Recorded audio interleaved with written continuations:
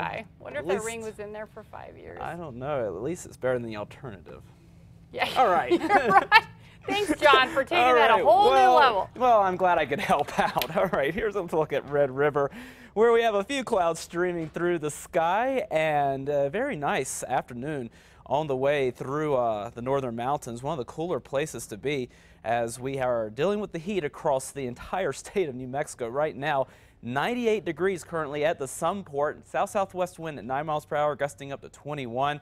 Across the entire state, we are dealing with the heat, with the exception of a few of the higher elevation locations. Ruidoso only at 86 degrees right now. Alamosa 71. That is where you want to be this afternoon. But across the rest of the state, we are dealing with triple digit heat across the east, down to the south as well. 102 in Alamogordo, 101 in Deming.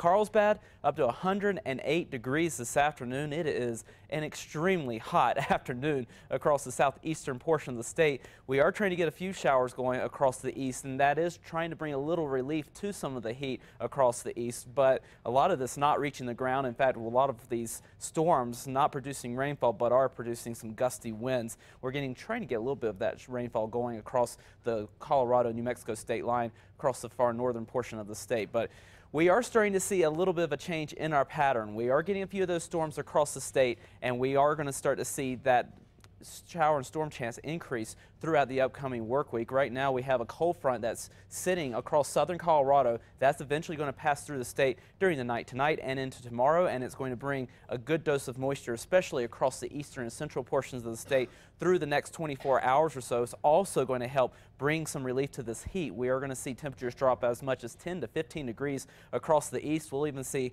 about a 5 to 10 degree drop across central sections and then after that front washes out we get into a southerly flow across the western portion of the state. So it looks like no matter where you are in the state, you will have a shot at getting some showers and storms throughout the upcoming week before things do start to settle down into the weekend. But then we start to see the moisture return once again for next week. Right now, Superstorm Track showing that we'll have that chance at getting a few of those showers going tomorrow. But really, we'll see the chances increase quite a bit during the uh, daytime hours on Wednesday, so we get a little bit better coverage across the northern mountains and across the east as well. And then once again across the west, we'll be watching for your shot toward Thursday and Friday. Southern Colorado, Temperatures tomorrow into the upper 80s to low 90s. Better chances at showers and storms toward the middle and latter part of the week as temperatures drop back to the mid 80s. Over the northwest, still hot for tomorrow, but we will see at least a chance at maybe a couple of storms Thursday into Friday before drying out once again over the weekend. Over the southwest, still very hot here with triple digit heat from T or C down to Deming